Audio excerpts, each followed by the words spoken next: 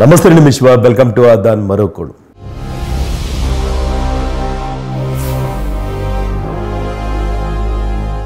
ఐదు రాష్ట్రాల అసెంబ్లీ ఎన్నికల్లో అన్ని పార్టీలది ఒక ఎత్తు అయితే ఆమ్ ఆద్మీ పార్టీది మరొక ఎత్తు. నాలుగు రాష్ట్రాల్లో భారతీయ జనతా పార్టీ హవాను కొనసాగించి అధికారాన్ని చేజిక్కించుకోవడానికి ముందడుగులు వేస్తూ ఉంది. అలాగే పంజాబ్లో మొత్తం ఏవైతే పార్టీలు ఉన్నాయో వాటన్నిటినీ కూడా ఆమ్ ఆద్మీ పార్టీ అయిన గుర్తు చీపిరి కట్టతో ఊడ్చి అక్కడ పడేసిందనమాట. నూట పదిహేడు అసెంబ్లీ స్థానాలుంటే పంజాబ్లో ఎనభై నుంచి తొంభై స్థానాలకు పైగా ఆమ్ ఆద్మీ పార్టీ గెలుచుకొని పంజాబ్లో అధికారాన్ని ఏర్పాటు చేయబోతా ఉంది. కాంగ్రెస్ పార్టీ కేవలం పది నుంచి పదిహేను స్థానాలకి అకాలీ శిరోమణి అకాలీదల్ కేవలం ఒక ఏడు నుంచి తొమ్మిది స్థానాలకు మాత్రమే పరిమితం అవుతా ఉంది. భారతీయ జనతా పార్టీ కూడా పెద్దగా అక్కడ ప్రభావం చూపించిన పరిస్థితి అయితే ఉంది. అయితే ఇప్పటి వరకు కూడా ఏ ప్రాంతీయ పార్టీ కూడా సాధించని విజయాన్ని ఆమ్ ఆద్మీ పార్టీ సాధించింది. మనకి చాలా రాష్ట్రాల్లో కూడా ప్రాంతీయ పార్టీలు ఉన్నాయి కదా. కొన్ని జాతీయ పార్టీలను కూడా చెప్పుకుంటూ ఉంటాయి. ఆయా రాష్ట్రాల్లో తప్ప పక్క రాష్ట్రాల్లో ఇప్పటి వరకు అధికారాన్ని చేపట్టిన దాఖలాలు లేవు. పెద్దగా ప్రభావితం చూపించిన దాఖలాలు కూడా లేవు.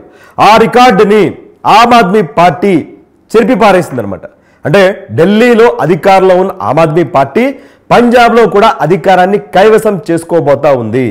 జాతీయ పార్టీలైన Bharatiya Janata party Congress party CPI CPM తప్ప ఇప్పటి వరకు కూడా ఏ పార్టీ కూడా మరొక రాష్ట్రంలో రెండు రాష్ట్రాల్లో అధికారాన్ని చేపట్టిన దాఖలాలు లేవని రాజకీయ విశ్లేషకులైతే భావిస్తూ ఉన్నారు. ఇది ఎలా సాధ్యం? ఆమ్ ఆద్మీ పార్టీకి ఇది ఎలా సాధ్యమయ్యింది? అంటే ఆమ్ ఆద్మీ పార్టీ ప్రస్థానం గురించి ఖచ్చితంగా మనం ఇక్కడ మాట్లాడుకోవాల్సి ఉంటుంది. ఢిల్లీ ముఖ్యమంత్రి అరవింద్ కేజ్రీవాల్ గారి గురించి ఖచ్చితంగా మాట్లాడుకోవాల్సి ఉంటుంది. రెండు వేల పన్నెండు వరకు కూడా రెండు వేల పన్నెండులో ఆమ్ ఆద్మీ పార్టీ పెట్టారు. అంతకు ముందు వరకు కూడా ఆయన ఐఆర్ఎస్ అధికారి. ఐఆర్ఎస్ అధికారి అయ్యి సామాజిక బాధ్యతగా కొన్ని స్వచ్ఛంద సంస్థలు అవి కూడా ఏర్పాటు చేసి అవినీతి మీద వీటి మీద సామాజిక సమస్యల మీద ఆయన పోరాటం చేస్తూ వచ్చారు. అవినీతి మీద అప్పట్లో అన్నార హజారే గారితో కలిసి పోరాటాన్ని నడిపారు. భారతదేశాన్నే కాకుండా ప్రపంచం మొత్తం చేత కంటతడి పెట్టించిన ఎవరైతే నిర్భయ ఉన్నారు ఢిల్లీలో బస్సులో అత్యాచారానికి గురయ్యి హత్య గావించబడిన ఆ నిర్భయ వ్యవహారంలో అరవింద్ కేజ్రీవాల్ గారి పేరు మొదటిసారిగా మారుమోగిపోయింది. దానికి సంబంధించి ఆయన ఏ విధంగా ఉద్యమాన్ని నడిపారో అందరికీ కూడా తెలిసిందే. అలాగే అవినీతి మీద కూడా పోరాటంతో అన్నా హజారాతో కలిసి. ఆ తర్వాత అన్నా హజారాతో లోక్పాల్ బిల్లుకు సంబంధించిన విషయంలో ఆయనతో విభేదాలు వచ్చి అంటే ఈ పోరాటంలోకి రాజకీయ అంశాలు తీసుకురాకూడదని అన్నా హజారా అంటే రాజకీయంగా కూడా మనం ఎదగాల్సి ఉంటుంది అప్పుడే ఇలాంటి వాటిని అడ్డుకోగలమని ఆయనతో విభేదించి ఆమ్ ఆద్మీ పార్టీ పెట్టారు అరవింద్ కేజ్రీవాల్ గారు. పెట్టి పెట్టడంతోనే రెండు వేల పదమూడులో జరిగిన ఢిల్లీ అసెంబ్లీ ఎన్నికల్లో సత్తా చాటారు. మొత్తం డెబ్బై అసెంబ్లీ స్థానాలుంటే ఢిల్లీలో ఏకంగా ఇరవై ఎనిమిది స్థానాలను కైవసం చేసుకున్నారు. భారతీయ జనతా పార్టీ కూడా ముప్పై రెండు స్థానాలు కైవసం చేసుకుంది. కాంగ్రెస్ పార్టీ ఎనిమిది స్థానాలకి పరిమితమైపోయింది. అప్పటి వరకు కూడా మూడు దఫాలుగా అంటే పదిహేను సంవత్సరాల పాటు ఢిల్లీలో కాంగ్రెస్ పార్టీ అధికారాన్ని వెలగబెట్టింది. దాన్ని కూలదోశారు. అయితే ఈ డెబ్బై అసెంబ్లీ స్థానాల్లో అధికారాన్ని చేజెక్కించుకోవాలంటే ప్రభుత్వాన్ని ఏర్పాటు చేయాలంటే ముప్పై ఆరు స్థానాలు గెలవాల్సి ఉంటుంది. ఎవరికి కూడా మెజారిటీ రాలేదు. ఆమ్ ఆద్మీ ఇరవై ఎనిమిది అలాగే భారతీయ జనతా పార్టీ ముప్పై రెండు. దీంతో భారతీయ జనతా పార్టీకి ఎలాగైనా అధికారం దక్కకూడదు అని కాంగ్రెస్ పార్టీ ఒక తన ఎమ్మెల్యేలతో ఆమ్ ఆద్మీ పార్టీకి మద్దతు ఇచ్చి ఒక మైనారిటీ ప్రభుత్వాన్ని ఏర్పాటు చేసింది. అప్పట్లో కేజ్రీవాల్ గారి మీద కూడా విమర్శలు వచ్చాయి. అప్పటిదాకా కాంగ్రెస్ పార్టీని విమర్శించి ఏది నిర్భయ ఘటనలో కానీ ఈ జల్ లోక్పాల్ బిల్లుకు సంబంధించి కానీ విమర్శించి మళ్ళా వారి ఎమ్మెల్యేల మద్దతు తీసుకొని ఆయన ప్రభుత్వాన్ని ఏర్పాటు చేయడం ఏంటి అని. మరి అధికారాన్ని చేపట్టి ఏదైనా పార్టీని బలోపేతం చేసుకుందాం అనుకున్నారేమో తెలియదు కానీ మొత్తానికైతే అధికారాన్ని ఏర్పాటు చేశారు. కాంగ్రెస్ పార్టీ కూడా ఏంటంటే ముందు భారతీయ జనతా పార్టీని పక్కన పెట్టాలి ముందు కేజ్రీవాల్ గారి ప్రభుత్వాన్ని ఎక్కిద్దాం ఆ తర్వాత ఏదో ఒకటి చేసి ఈ ప్రభుత్వాన్ని గద్దె దింపి మనం ఎక్కుదామన్న ఆలోచనతో కూడా మద్దతు తెలిపింది. ఆయన ముఖ్యమంత్రి పీఠాన్ని అధిష్టానం నాటించి కూడా ఒక నలభై రోజుల పాటు యాభై రోజుల పాటు అధికారంలో కొనసాగారు. ఆ తర్వాత రాష్ట్రపతి పాలన విధించాలని అసెంబ్లీని రద్దు చేయాలని కూడా కోరారు. మొత్తానికైతే అక్కడ అసెంబ్లీ రద్దయిపోయింది రాష్ట్రపతి పాలన విధించారు. ఆ తర్వాత జరిగిన ఎన్నికల్లో రెండు వేల పదిహేనులో జరిగిన ఎన్నికల్లో అరవింద్ కేజ్రీవాల్ ఏకంగా డెబ్బై స్థానాల్లో అరవై ఏడు అసెంబ్లీ స్థానాలను గెలుచుకొని ఆమ్ ఆద్మీ పార్టీని అధికారంలోకి తీసుకొచ్చారు. ముఖ్యమంత్రిగా పీఠాన్ని అధిరోహించారు అలాగే మొన్న రెండు వేల ఇరవైలో జరిగిన ఎన్నికల్లో కూడా ఆయనే ముఖ్యమంత్రిగా వరుసగా రెండోసారి గెలుపొందారు. అయితే పంజాబ్ ఎన్నికల్లో కూడా గత గతంలో జరిగిన అసెంబ్లీ ఎన్నికల్లో కూడా ఆయన పోటీ చేశారు. అప్పట్లో కూడా ఆమ్ ఆద్మీ పార్టీ మొదటి ప్లేస్ కానీ సెకండ్ ప్లేస్ కానీ వస్తుందని అన్ని సర్వేలు కూడా చెప్పాయి. అయినప్పటికీ కూడా రాలేదు. కానీ ఇప్పుడు పంజాబ్ అసెంబ్లీ ఎన్నికల్లో ఆమ్ ఆద్మీ పార్టీ ఖచ్చితంగా అధికారాన్ని చేజిక్కించుకుంటుంది అని చాలా వరకు సర్వేలు చెప్పాయి. కొన్ని కాంగ్రెస్ పార్టీ వైపు మొగ్గు చూపాయి. వాటన్నిటి కూడా పటాపంచలు చేస్తూ. అంటే సర్వేలు ఏదైతే అంచనా వేశాయో ఆ అంచనాల్ని తలకిందులు కాదు అంతకుమించి ఎక్కువే చేస్తూ ఎనభై నుంచి తొంభైకి పైగా స్థానాలు గెలుచుకొని పంజాబ్లో అధికారాన్ని చేపట్టబోతా ఉంది.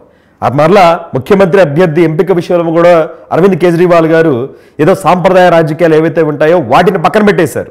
అంటే ఒక రెండు మూడు రాష్ట్రాల అధికారంలో పార్టీ ఉందనుకోండి అక్కడ అధిష్టానం ఎవరు నిర్ణయిస్తే వాళ్ళే ముఖ్యమంత్రి అభ్యర్థి. లేదంటే సీల్డ్ కవర్లో ఎవరి పేరు పంపిస్తే వాళ్ళే ముఖ్యమంత్రులు. కాంగ్రెస్ పార్టీలోనూ భారతీయ జనతా పార్టీ అధికారంలో ఉన్నప్పుడు కూడా ఇలాగే జరిగాయి కానీ ప్రజల నుంచి ముఖ్యమంత్రిని ఎంపిక చేశారు. ప్రజల విజ్ఞప్తుల నుంచి. మీకు ఆమ్ ఆద్మీ పార్టీ తరపున ఎవరైతే ముఖ్యమంత్రిగా పంజాబ్కుంటే బాగుంటుంది పంజాబ్ అభివృద్ధి చెందుతుందని మీరు భావిస్తున్నారు అని ప్రజల నుంచి విజ్ఞప్తులను స్వీకరించి ఆ విజ్ఞప్తుల్లో మెజారిటీ ఎవరైతే ఉన్నారో ఇప్పుడు సింగ్ అని ఒక ఆయన ఉన్నారు. ఆయన ఎంపిక చేయడం జరిగింది. ఇది కూడా ఒక కొత్త తరమైన విధానమని చెప్పాలి. అలాగే పంజాబ్లో కాంగ్రెస్ పార్టీ అధికారంలోకి వస్తుందని చాలామంది భావించారు. అంటే రాజకీయాల్లో ఏదో అంటారు కదా ఆత్మహత్యలు ఉంటాయని. అలా కాంగ్రెస్ పార్టీ పంజాబ్లో ఆత్మహత్య చేసుకుందనే చెప్పాలి. ఎక్కడ లేని విధంగా మూడు వ్యవసాయ చట్టాలకు వ్యతిరేకంగా పంజాబ్ నుంచి ఎక్కువ ఉద్యమం నడిచింది. కాంగ్రెస్ పార్టీ వెనకుండి నడిపించింది కూడా. అయినప్పటికీ కూడా మరి పంజాబ్లో కాంగ్రెస్ పార్టీ అధికారంలోకి రాలేదు. ఎవరైతే ఇంతకుముందు ముఖ్యమంత్రి ఉంటారు ముఖ్యమంత్రి అభ్యర్థులు మార్చడం ఇదంతా కూడా. ముఖ్యమంత్రి అమరేందర్ సింగ్ ఆయన పట్ల ఈ రాహుల్ గాంధీ గారు వీళ్ళందరూ కూడా కొంచెం ఆధిపత్యం కోసం వ్యవహరించడం వ్యవహరించటం. సింగ్ నా వల్ల కాదని మీ మాట నేను వినేది లేదని రాజీనామా చేయడం వెళ్ళిపోయిన భారతీయ జనతా పార్టీతో జత కట్టడం వెంటనే వేరొక ముఖ్యమంత్రి ఇక్కడ నియమించడం కాంగ్రెస్ పార్టీ. ఈ విధంగా వాళ్ళలో వాళ్ళే ఏదైతే రైతు వ్యవత వ్యతిరేక చట్టాలు కానీ ఇవన్నీ కానీ వాటిని క్యాష్ చేసుకోలేక ముఖ్యమంత్రిని మారుస్తూ కాంగ్రెస్ పార్టీయే అక్కడ పంజాబ్లో ఆత్మహత్య చేసుకుందని అయితే రాజకీయ విశ్లేషకులు అయితే భావిస్తూ ఉన్నారు. అయితే భారతీయ జనతా పార్టీ పెద్దగా అయితే పంజాబ్లో ప్రభావితం చూపించలేదు. మొదటి నుంచి కూడా వాళ్ళకి అంత అంచనాలేమీ లేవు. పంజాబ్లో మిగతా రాష్ట్రాల్లో ఉన్నాయి కానీ ఏది ఏమైనప్పటికీ కూడా అటు కాంగ్రెస్ పార్టీకి షాకిస్తూ ఆమ్ ఆద్మీ పార్టీ.